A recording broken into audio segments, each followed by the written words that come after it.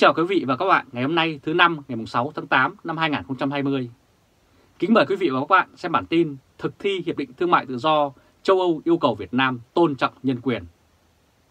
Vài ngày trước khi Hiệp định Thương mại Tự do giữa châu Âu và Việt Nam có hiệu lực từ ngày 1 tháng 8 năm 2020, lãnh đạo Liên minh châu Âu đã đề cập đến vấn đề nhân quyền và quyền của người lao động tại Việt Nam. Chủ tịch Ủy ban châu Âu Ursula von der Leyen đã có cuộc điện đàm với Thủ tướng Việt Nam ông Nguyễn Xuân Phúc vào hôm 29 tháng 7. Bà viết trên trang tweet như sau, vừa có cuộc điện đàm rất tốt với Thủ tướng Việt Nam Nguyễn Xuân Phúc. Thỏa thuận thương mại của chúng ta có hiệu lực kể từ ngày 1 tháng 8. Đó là tin tuyệt vời cho nền kinh tế của chúng ta. Cần mọi cơ hội để khôi phục sức mạnh của nó. Đây cũng là cơ hội để người dân Việt Nam chứng kiến sự thay đổi tích cực và được hưởng các quyền con người mạnh mẽ hơn. Đây là hình ảnh ông Thủ tướng Việt Nam Nguyễn Xuân Phúc điện đàm với Chủ tịch châu Âu Ursula von der Leyen vào ngày 29 tháng 7 năm 2020. Trong một thông báo báo chí của Ủy ban châu Âu vào hôm 31 tháng 7, bà Leyen nhấn mạnh như sau. Tôi tin tưởng mạnh mẽ rằng thỏa thuận này cũng sẽ trở thành một cơ hội để người dân Việt Nam được hưởng một nền kinh tế thịnh vượng hơn và chứng kiến một sự thay đổi tích cực và nhân quyền mạnh mẽ hơn đối với công nhân và công dân ở nước họ. Ủy viên thương mại của châu Âu, ông Phil Hogan tuyên bố Việt Nam hiện nằm trong nhóm 77 quốc gia có quan hệ thương mại với châu Âu theo các điều kiện ưu đãi song phương. Ông cũng nhận định rằng hiệp định này cho thấy các chính sách thương mại cũng đã tạo ra một động lực để phát triển về mặt xã hội. Ông nói, Việt Nam đã nỗ lực rất nhiều để cải thiện quyền của người lao động thông qua các cuộc đàm phán thương mại và tôi bày tỏ tin tưởng rằng Việt Nam sẽ tiếp tục những cải cách cần thiết. Bà Nguyễn Thị Ngọc Hương, một nhà hoạt động nhân quyền cho Việt Nam ở Đan Mạch,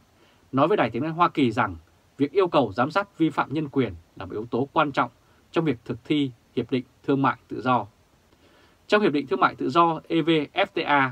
châu Âu nhấn mạnh rằng Việt Nam phải tôn trọng nhân quyền, phát triển bền vững và xem trọng quyền của công nhân và quyền lập hội. Ông Nguyễn Hoàng Hải, một nhà hoạt động cho nhân quyền tại Việt Nam ở Bruxelles, Bỉ, viết trên trang tweet vào hôm 3 tháng 8 như sau. Phát triển bền vững, tự do biểu đạt và thượng tôn pháp luật. Nếu không có những điều này, Hiệp định Thương mại Tự do chỉ làm giàu cho các công ty đa quốc gia và nhóm thân hữu đạo đức giả của họ ở Ủy ban Thương mại châu Âu, Đảng Nhân dân châu Âu và nhóm Liên minh Tiến bộ Xã hội Dân chủ. Và cũng trong thời gian này, Tòa án tại Việt Nam cũng đã tuyên phạt hơn 40 năm tù giam đối với 8 thành viên thuộc nhóm Hiến pháp. Đây là hình ảnh các thành viên của nhóm Hiến pháp tại phiên tòa vào ngày 31 tháng 7 năm 2020.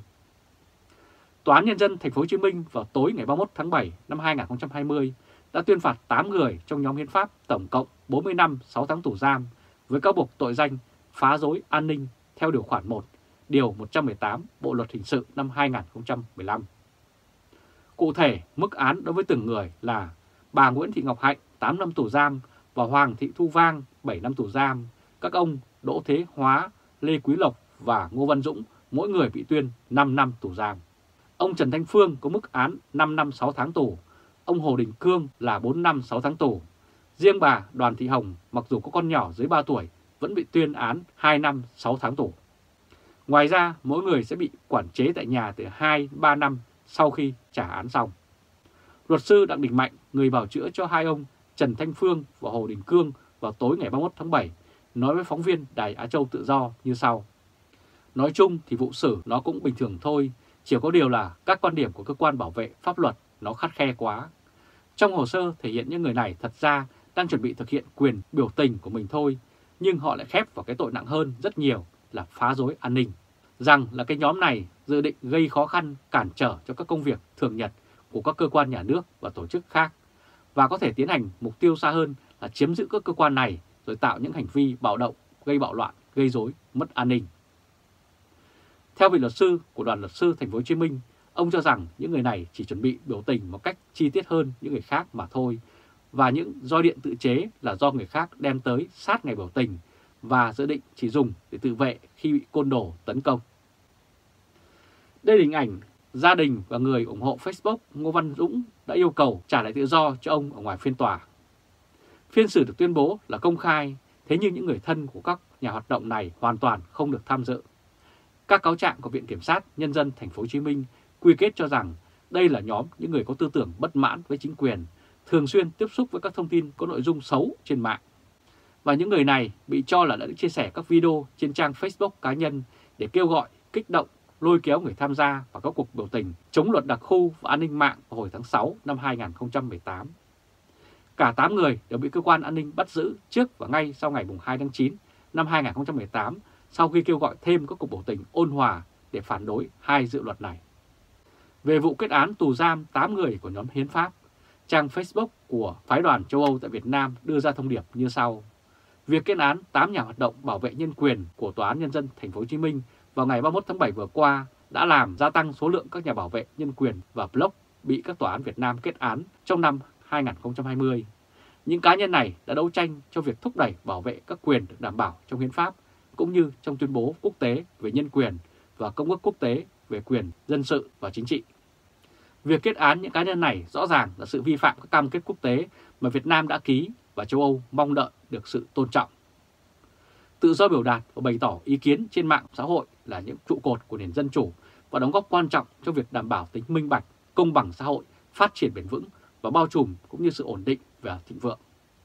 Châu Âu cũng cam kết mạnh mẽ cho việc bảo vệ các nhà hoạt động nhân quyền trên toàn thế giới. Chúng tôi tiếp tục làm việc với chính quyền và các bên liên quan để cải thiện tình hình nhân quyền hiện nay tại Việt Nam. Vào cuối tháng 6 năm 2020, một nhóm trí thức tại Việt Nam đã lập ra nghiệp đoàn độc lập Việt Nam với phương châm đấu tranh bảo vệ quyền lợi và lợi chính đáng của người lao động trước cơ hội Việt Nam thực thi Hiệp định Thương mại Tự do. Đây là hình ảnh thông điệp đăng trên trang Facebook của phái đoàn châu Âu tại Việt Nam về vụ kết án tù giam 8 người của nhóm Hiến pháp. Ngay sau đó vào hôm 10 tháng 7, báo Quốc phòng thủ đô cho rằng việc thành lập nghiệp đoàn độc lập Việt Nam là hành vi vi phạm pháp luật cần xử lý. Trang báo của Đảng ủy thuộc Bộ Tư lệnh thủ đô Hà Nội nói, đó là tổ chức đối lập với hệ thống chính trị ở nước ta, cần phải cảnh giác và loại bỏ chúng ra khỏi cuộc sống xã hội. Và dù vướng những khó khăn trước mắt về thủ tục pháp lý và tính chính danh của một hội đoàn chưa được nhà nước công nhận, sự ra đời của nghiệp đoàn độc lập Việt Nam đánh dấu một bước ngoặt cho hàng triệu người lao động Việt Nam trước cánh cửa hội nhập quốc tế.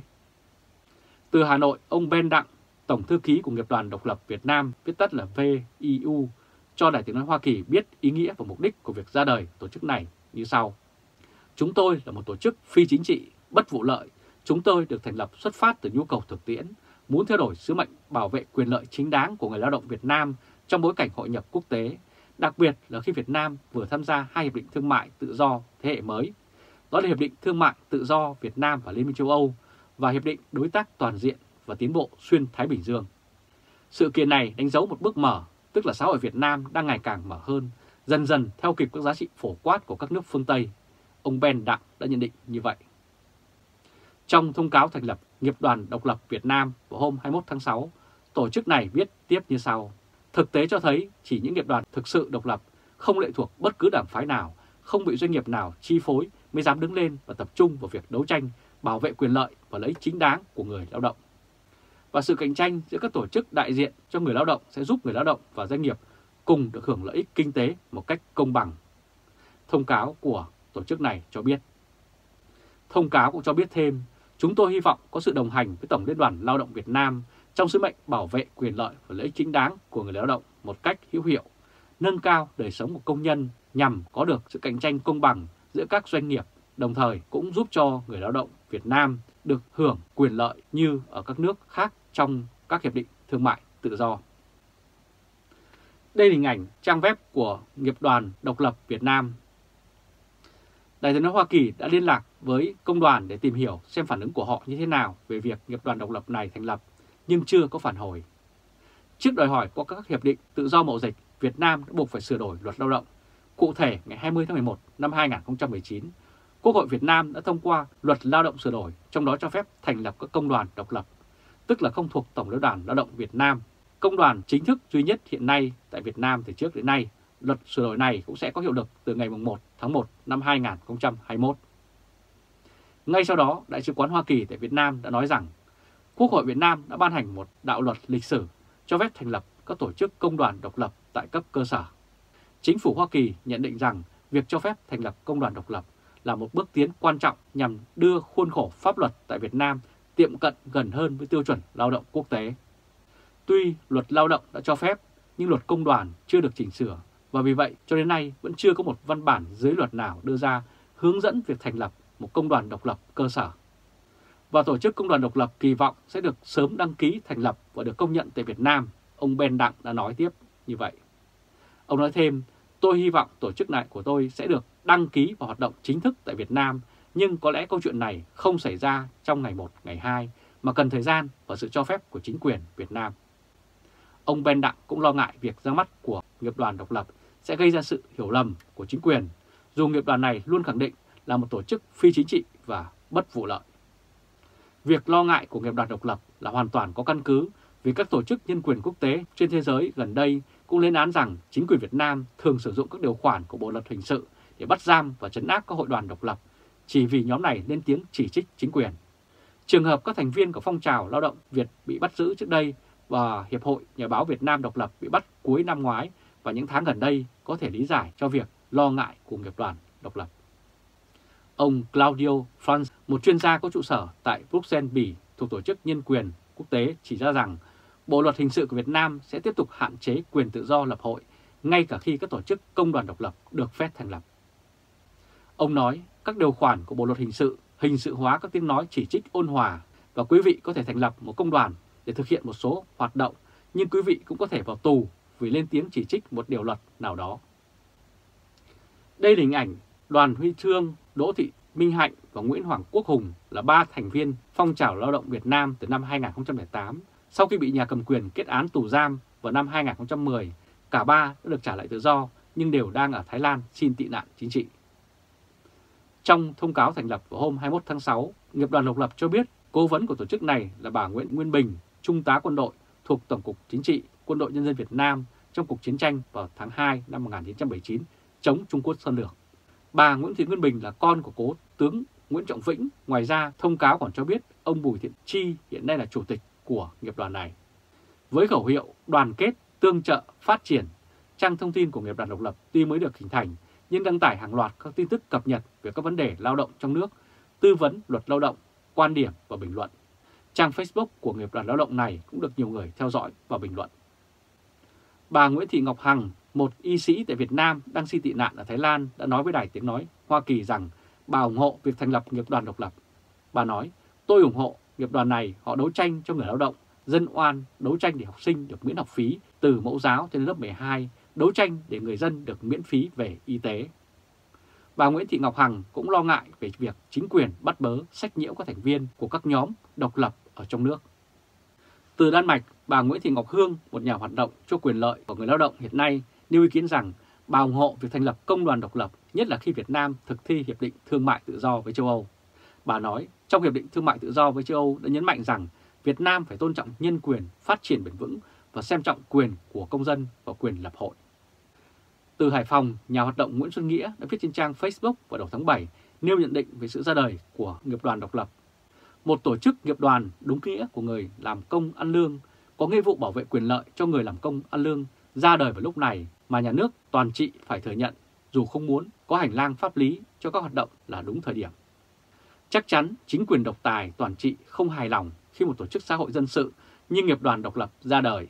Ngoài ra, khả năng cao là nhà cầm quyền còn có một nỗi lo sợ mơ hồ khác, bởi vậy họ sẽ tìm cách khống chế, phá hoại để vô hiệu hóa.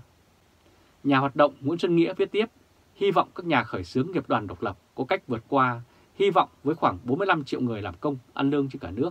nghiệp đoàn độc lập có môi trường hoạt động và phát triển theo tiêu chí đấu tranh để bảo vệ quyền lợi của người làm công ăn lương.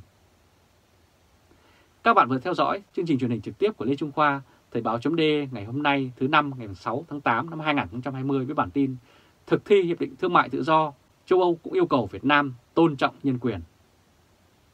Các bạn hãy chia sẻ video này cho nhiều người biết và bấm theo dõi YouTube và Facebook của Thời báo .de để luôn được cập nhật những bản tin mới nhất, nhanh nhất và trung thực nhất.